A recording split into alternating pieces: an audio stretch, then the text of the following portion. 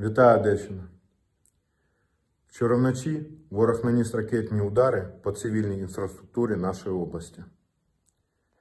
Внаслідок цих ударів, на жаль, у нас є загиблі та поранені. Пошкоджені приватні будинки, база відпочинку та великий торгівельний центр. Здійнялась пожежа, яку підрозділом ДСНС вдалося швидко ліквідувати. Я хочу подякувати їм за те, що у такий важкий час вони викладаються на повну та виконують свою роботу на відмінно.